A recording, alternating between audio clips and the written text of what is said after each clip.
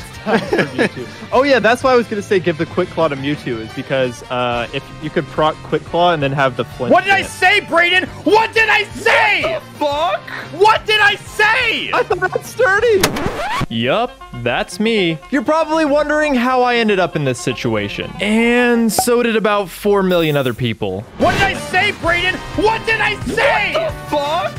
What did I say? I thought that's sturdy. It was Brayden again! we learned not to listen to our friend's advice! I I I I do I I f- can't. I f- can't. Oh, but if you had the quick claw, yeah. Yeah, if only he had that quick claw. So, after spending a night crying over people being mean on the internet, I had a realization. Wait a minute, these people are all babies. I know more than these kids when it comes to Pokemon. Heck, I bet most of them weren't even alive when this game came out. I decided to put my pride on the line and do a Nuzlocke of my very own. In the exact same game where Mewtwo the Onix once stood. Now, I'm sure that if you're watching this video, you already know the general rules to a Nuzlocke from that video. But I decided to put my Pokemon skills to a tougher test by attempting a hardcore Nuzlocke. Which just means that it's all the normal Nuzlocke rules that you know and love, with the added challenge that I can't use items in battle and I have to set a level cap for each gym to the same level as the leader's ace. If you want the full rules, just read the description or something, I don't know. And if you're already down there, why don't you hit the subscribe button? So, with a goal in sight and a chip on my shoulder, I embarked into the world of Pokemon to begin my journey.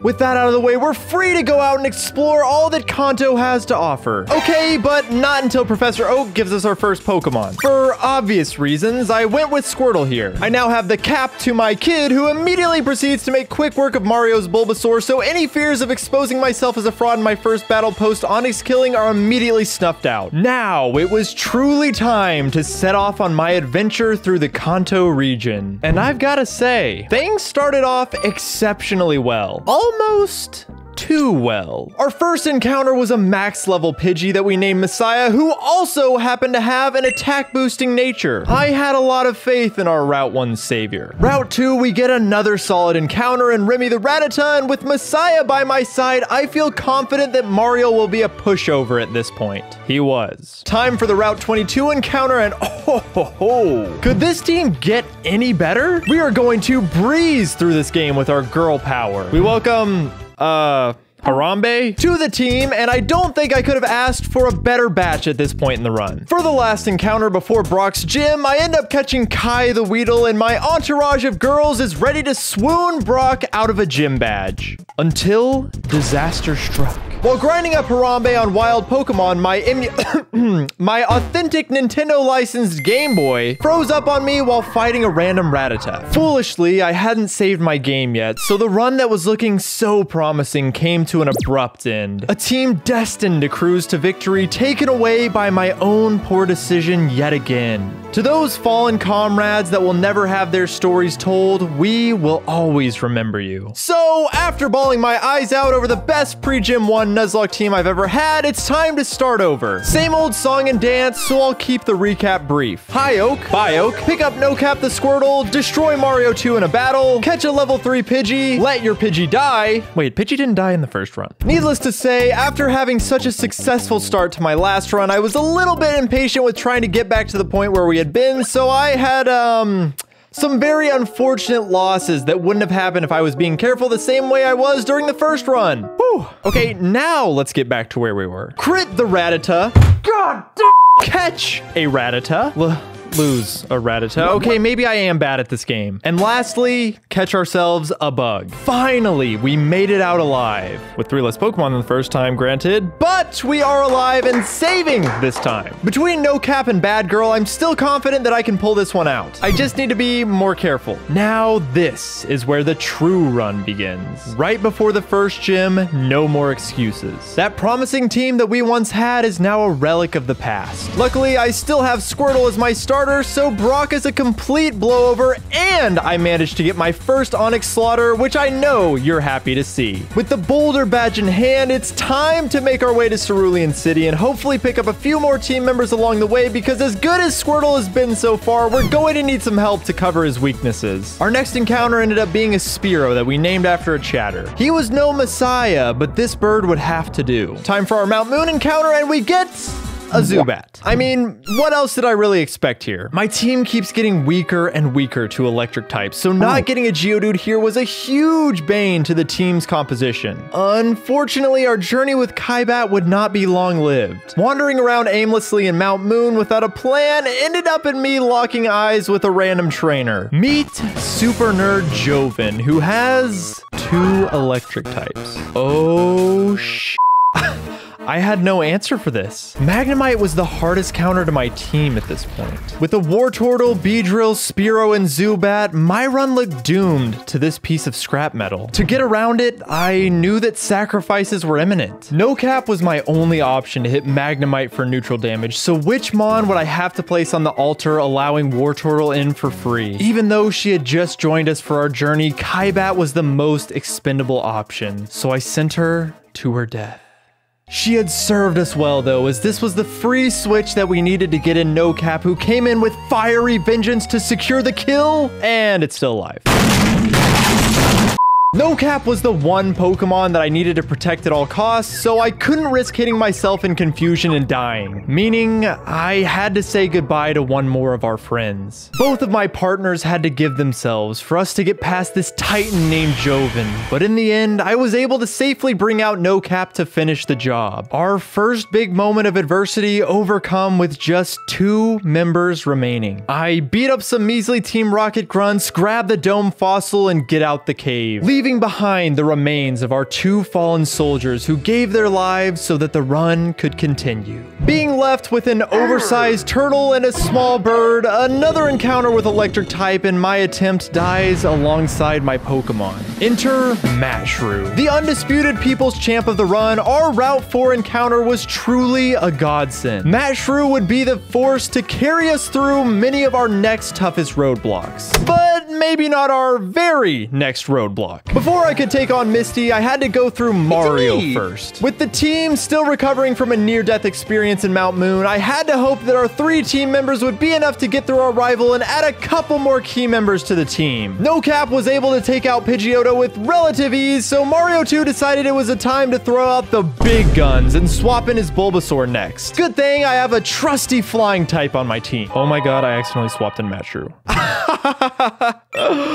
oh, that was terrifying. Luckily, I was able to swap in Maton and avert that small catastrophe like the true Pokemon expert that I am. Matt Shrew etches his name in the Captain Kidd Nuzlocke lore by getting his first kill and leading us to a crucial victory over Mario 2. Clearing out the trainers on Nugget Bridge allowed Maton 2 to transform from a small bird to a big bird and more importantly opened up two more routes for potential encounters. I had my sights on Bellsprout and with a 25% encounter rate, I got my counter to Misty's gym. Cuphead the Bellsprout has joined the party, and I promise not to ruin the image of Cuphead for any of you ever again. Because of Dupes Clause, our next encounter was either going to be a Caterpie or an Abra, and you can guess which one we were getting. So Bad Boy replaces our fallen soldier Bad Girl, and with my new Fantastic Five, it was time to claim our next gym badge. What about me? Oh yeah, that's right. After doing everything in my power not to kink shame Bill, I trekked back to Celadon City where Misty was waiting for us. I've got to be honest and say, I wasn't worried in the slightest. Cuphead managed to land a sleep powder on the first turn, which allowed him to get absolutely massive. With the additional stat boosts, Cuphead managed to easily win us our second gym badge, and I decided to reward him by letting it evolve.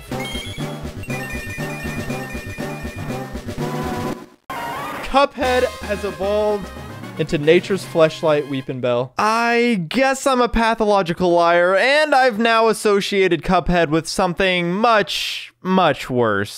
Matt Shrew had truly opened up the run and was now our brightest star on the team. Before catching him, everything looked bleak and the smell of victory was distant. But now with two gym badges in hand and an electric type gym leader on the horizon, it was time for Matt Shrew's light to shine even brighter. Another star was born when Bad Boy evolved into a Butterfree on the road to Vermilion City. Newly equipped with compound eyes and sleep powder, this bad boy can get us through just about any tough situation. After passing up the opportunity of a lifetime, time to spend $500 to buy some smelly fish off an old man in a hospital, I put my life on the line and hooked up a Magikarp of my own. This Pokemon would help set the mood for the rest of the run, and the team was really starting to take some serious form. It's hard to believe that not too long ago, we were struggling to get through one tiny bat-filled cave. Like all good, responsible young parents who aren't ready to have a child in their early 20s, I left my kid with an older adult.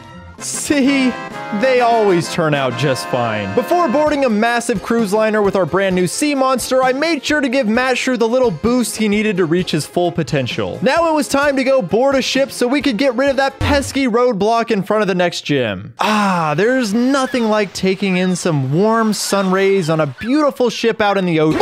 Mario 2, what are you doing here? Well, this time Matt Shrew won't let your little Rattata get away so easily. He's going to bury it into the ground. Oh my god, I didn't think I would actually kill it. After getting a back rub from a 10-year-old child, the old sailor gives us HM01 cut, and we can finally make our way to Lieutenant Surge's gym. I felt even more confident about this gym than any of the previous two because this is what Matt Shrew was made for. I decided to bring our little Diglett friend along just as a plan B, which may or may not be illegal at the time of this video's posting. But she would not be needed. Despite this lieutenant's best efforts to induce his own wartime PTSD ghosts on Matt Shrew, he was able to pick out the real Raichu from the imposters and complete the sweep, earning us our third gym badge. All of the doubters were starting to look like fools with how easy I was making this game look. And because of that, it's time for me to introduce to you the special rule that I came up with for this Nuzlocke, the Kid Clause. What's the Kid Clause, you ask? Well, it's quite simple, actually. I have to use Onix.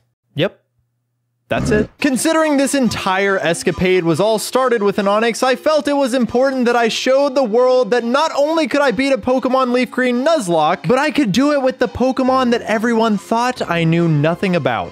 Rock Tunnel is the first location that Onix became available to me, so I made the long trek back through Cerulean to get to the point where everything would change. Surrounded by the darkness, I looked for my Onix, and finally, after a little bit of searching, there she was. There was only one name I could choose for our long last that would constantly remind me of the entire reason I was here. I mean, there's gotta be some comedic irony in there somewhere. My team was really starting to take form. I felt that all of these Pokemon, either by necessity or choice, could end up being on the team long term and playing crucial roles in my eventual victory. And since we just arrived in Celadon, the Game Corner gave me a unique opportunity to pick up a Pokemon I might not otherwise think to use, like Ab Abra, Dratini, or... Hmm. I left it up to my viewers to decide which Pokemon I should go with, and being the kind fans that they are, they, of course, picked out a Pokemon whose power could rival that of even the strongest legendary in the game, Porygon. They picked Porygon. This was unfortunate for two reasons. Number one, it's a Porygon. Number two, it costs 6,500 coins, meaning I'm going to develop a gambling addiction just to get this one Pokemon. Well, you know what comes next. Cue the slots montage. Actually, I wasn't feeling it at the time, so we'll save Porygon's story for later. I wanted to strengthen my team just a bit before facing Erika's gym, so I traveled through Route 16 to pick up Fly for Maton 2, and in a moment of innocence, I walked up to this seemingly unassuming couple. Oh no. Oh Considering these two were higher levels than my entire team, and I had just boxed my water type starter in favor of my HM slave, I was pretty convinced that this could be the end of the run. Thankfully, Matt Shrew and Mood were able to prevent an astronomical disaster from transpiring during what this couple considered a romantic date. With Fly now safely secured, I walked into Erika's gym and let Maton 2 run wild like an out of control weed whacker. Oh god, the carnage. We had officially collected half of the gym badges, something that Zinc here didn't think was possible. After defeating the grass type gym leader, I thought it would be okay to finally add our four times weak to grass rock snake to the party. Unfortunately, that meant that someone would have to be replaced. And taking a close look at our team, there was one Pokemon that seemed to fill the exact same role that Sturdy would. With a heavy heart and a malding swarm of viewers, I decided it was time to put Matt Shrew in the PC for good where he could live a peaceful life and avoid death's embrace. Now it was time to go see what nefarious activities Team Rocket was up to underneath the game corner, and after making quick work of Giovanni's team with our two water types, we picked up the Silph Scope and headed back to Lavender Town to visit our rivals Dead Raticate. I rescue Mr. Fuji from Team Rocket and he rewards me with a musical instrument. Do I look like I know how to use this thing? The answer, of course, is no but I do know how to use these. It finally felt like the proper time to add Porygon into the mix. After all of that hard work, I didn't want to just drop 6,500 coins on Porygon only for its corpse to rust away in the PC. No, no, no, no, no, no. I wanted to actually use this thing. So I came up with a perfect strategy for it. As you may know, Dark and Steel type were both added to Pokemon in Generation 2. Dark was largely added to counter the overpowered Psychic type Pokemon, and uh, uh-oh, there's there's a whole gym with psychic types coming up. With Fire Red and Leaf Green being remakes of Generation 1, however, there are no darker steel types available to be found in pre-post game Kanto. Well, besides this retcon little guy. With no dark type available to catch, there wasn't a single Pokemon completely immune to Sabrina's team. Except one. That's right, Porygon. Now, let me explain. Porygon has a signature move called Conversion, which allows it to transform into one of the types of the various moves that it holds. And luckily for us, Porygon learns exactly one dark type move, Thief. Conveniently, I had a spare copy of the TM, so I fed it to Minecraft and voila, Dark Porygon was born. Now would also be a good time to mention that I had been EV training all of my, uh, unique choices. You can look into effort values on your own time if you're unaware, but the TLDR for this type of training is that you beat up a lot of little Pokemon to make certain stats stronger. In the case of our team, we had some Pokemon with stats that certainly left something to be desired. I maxed out Sturdy's attack and speed to make up for those lackluster offensive skills. To make Minecraft as powerful as possible, I wanted to max out its special attack, meaning that without Surf and access to the power plant, the only way to do this was to search over and over and over again for Abra on routes 24 and 25, and with only a 15% encounter rate, this took hours. Needless to say, I had spent so much time with these two that I would be absolutely devastated if anything were to ever happen to them. I am getting a little bit ahead of myself though because there are still some minor, uh, pretty major tasks that I had to take care of before we could even think of stepping foot in Sabrina's gym. My awful music skills were able to throw this Snorlax into a rage, so I swiftly put that to rest by stuffing its big fat belly inside my tiny little ball. We gladly welcome Pablo on board, but this squad already has its token normal type. After sweeping through a gang of bikers with my beautiful butterfly, I made it to Fuchsia City to pick up Surf and take on Koga. If you couldn't tell, I'm really trying to delay this Sabrina fight for as long as possible. With my current squad, Koga was going to be a pushover. Yep, we swept this team with a butterfly. The only thing left to delay the inevitable now was snuff out Team Rocket's plans at Silph Co. 11 floors, one Lapras, and a Master Ball later, it was finally time to take on Sabrina's gym. My Porygon strategy would be put to the test. I had done a lot of hypothesizing, but hypotheses are no good without any data to back them up. And as we all know, nothing bad ever happens in Sabrina's gym. The first experiment was an overwhelming success. Porygon was able to immediately turn into a dark type, and there was absolutely zero threat of me losing. However, there were some flaws with the strategy. And we can recover, and now we... Sweet... Uh-oh. now we just spam recover until we're uh, out of that. Okay, there we go. Please stop. Please... This is... I, this was uh, unfactored in the situation. What transpired next, however, could not have been predicted by any fortune teller. It's okay, Minecraft. You got this. Destiny Bond! Please hit yourself.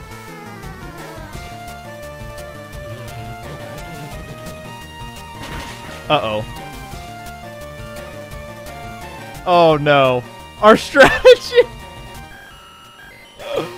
No, Minecraft! You're joking. All of this time and effort meticulously poured into one little Porygon, all torn apart by a gym trainer of all people? With an extremely heavy heart, I had to box my failed science experiment and picked up the Pokemon that the experts are saying is all the rage. However, my crippling depression couldn't keep me away from the gambling addiction I had developed, so back to the slots it was for me. Fortunately, it all worked out in the end as this extra gambling meant I could pick up a Shadow Ball TM to teach to Pablo that would ensure that truly nothing bad ever happens in Sabrina's gym. I see that you implored a separate strategy than what I preferred of not being drastically under leveled.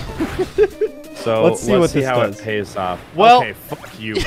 All right, I'm gonna go. Nothing could ever replace the void in my heart that was left by Minecraft, but breezing through the Sabrina fight with our newfound chonkers certainly helped heal the wounds that had been left. This story would have been very different if it weren't for Channeler Tasha, but there is still much to be etched into the lore of this Nuzlocke, so we didn't have time to dwell on our seizure-inducing science project. Anyways, it was finally time for us to take on the man whose hair had been scorched off by the Pokemon he uses. And because I don't trust my Pokemon knowledge anymore for some reason, I just decided to value brawn over brains and brute force my way through the gym by melting every gym trainer with my oversized water dragon. With barely a scratch, my team and I were now just one gym badge away from the summit of this long journey. Things had been relatively easy up to this point, and it only proceeded to get easier as we headed for the easiest gym leader in all of Kanto. But first, our boy Bill hit us up to run some monotonous errands for him on some random islands, and uh, yeah, we may have killed some massive firebird that was blocking our way or something, but who's keeping track? Finally, we returned to Viridian City, where things had come full circle as our starter was now all grown up and swept his way through yet another gym. So, after foiling Giovanni's plans for the last time, there was only one thing left for us to do claim our redemption by becoming the champion of the Kanto region, but much more importantly,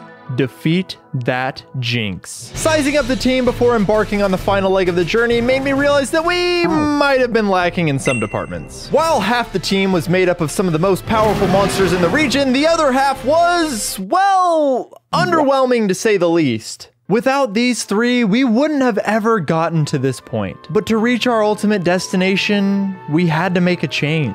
So, with a heavy heart, I decided that it was best for the team to say bye bye to Bad Boy the Butterfree.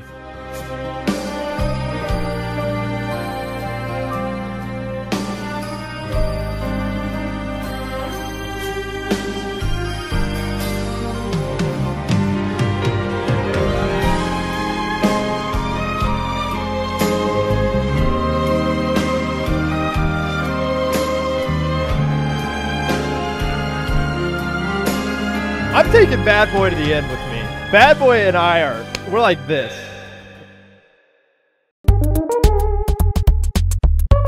There was only one Pokemon that I would be willing to give up a spot for this late in the run, which just so happens to be one of my favorite Pokemon of all time, Magneton. And since this was the last Pokemon we'd ever catch, uh, there was no need for this thing anymore. Jome joined the party and all the pieces were in place to complete our Nuzlocke puzzle. Mario 2 tried stopping us in our tracks, but we proved that he still had a lot to learn before taking on the absolute gauntlet of an Elite Four that awaited him past Victory Road. I showed off all my papers and only got violated by one of the guards on my way there, but I finally made it through to the Indigo Plateau. All of our final preparations were made before entering the most terrifying escape room, including deciding who to teach TM26 to, and I know what you're thinking. Wow, that would be a perfect move to give to Gyarados considering its massive attack stat and Onix. I gave it to my Onix. Newly equipped with Earthquake and most importantly, a Quick Claw, Sturdy was as powerful as ever, so I was ready to cross through to the point of no return. Typically, when playing a Pokemon game, the final boss comes after you defeat all of the Elite Four members. But my run was special. This run started with our champion. This was it. The moment of truth. Lorelei has been a point of ridicule for an entire year, but this is where I change the course of history. This is the only trainer capable of repairing my legacy. She started off as she always does by throwing out her Dewgong, which was no worry for me as Jome absolutely melts through this Pokemon. One down, four remain. Next up, Cloyster. Even easier than before. Slowbro? More like no bro. Lapras. Four down, one remains. Backed against the wall, Lorelei finally pulls out her Exodia, the level 54 Jynx. A Pokemon that has cast the darkest shadow over my entire career. There was only one way to finish this. I set the stage with Joan by paralyzing the witch, and then it was time. Time for Onix. Time for redemption. With nothing but pent up rage built up over an entire year and thousands of berating comments, the only way to wipe this moment from everyone's collective conscience was to go boom. This was the only way that it could end. Going out with a bang, engulfed in the flames of war, a necessary evil that would end all suffering. An unbearably painful decision, but an unavoidable sacrifice to prove to the world that Onix does kill Jynx. We all said our final goodbyes and carried on with a promise to not only Sturdy but Mewtwo as well that we would become the greatest champion that the Kanto region had ever seen. After the emotional outpouring that was fighting Lorelei, mistakes are prone to happen. Luckily, Bruno gave me an opportunity to do what I do best kill an Onix. Then he let Mood get set up with Dragon Dance, uh, only for me to get scared of his very next Pokemon and switch out expecting an attacking move. Uh-oh. I ended up reversing the roles and let Machamp set up on us, leaving Maton 2 too weak to deal the finishing blow with Drill Peck and take a devastating cross chop that led to its death. An entirely preventable death is never an easy pill to swallow, but there was no time to mourn as standing before us was a Machamp who just had a killer chest workout. Luckily, No Cap was able to dodge a cross chop and finish off the Machamp with a surf, and the battle ends just how it started, with a dead Onix. With half of the Elite Four down and already a third of the team gone, things could certainly be going better, but the mods that we had left were the cream of the crop, so I really wasn't worried. A giant bear throwing balls of shadows seemed like it would be an easy way to sweep through Agatha's team, but Agatha had other plans for me. No! I quit.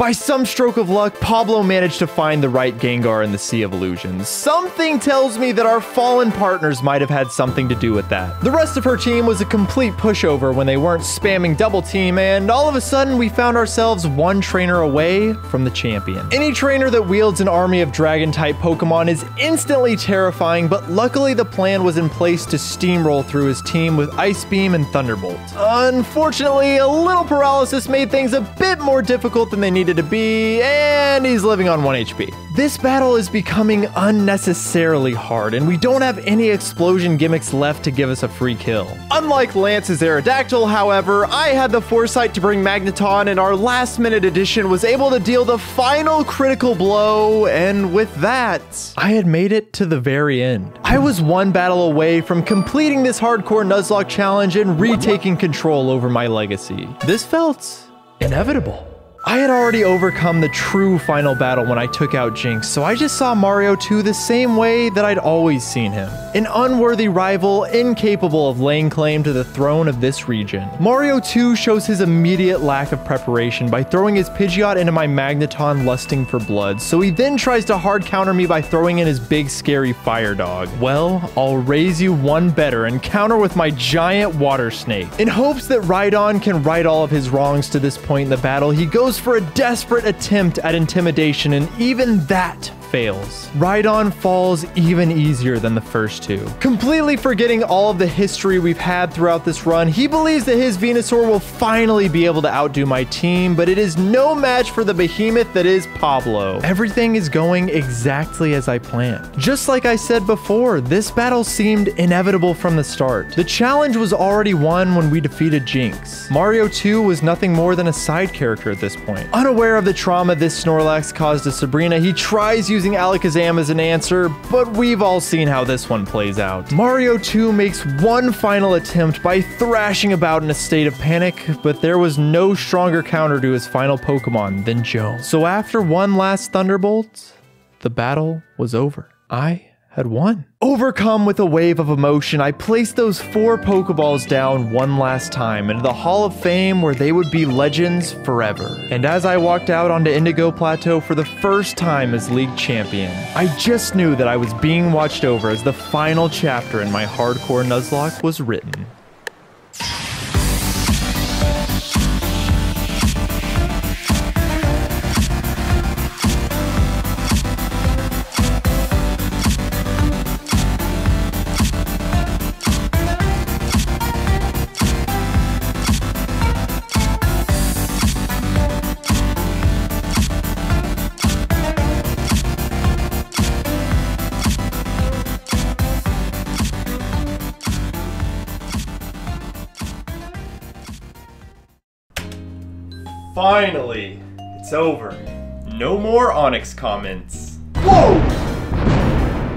What the hell was that?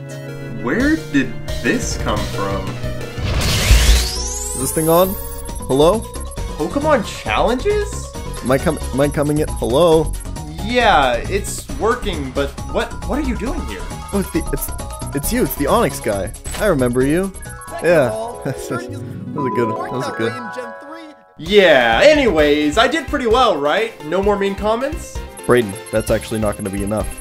To escape your legacy of being the worst Nuzlocke, you know what you have to do, right? No. What? What? I, I I'll do anything at this point. You have to put your entire fist in your mouth, Brayden. My my entire fist? Your entire fist.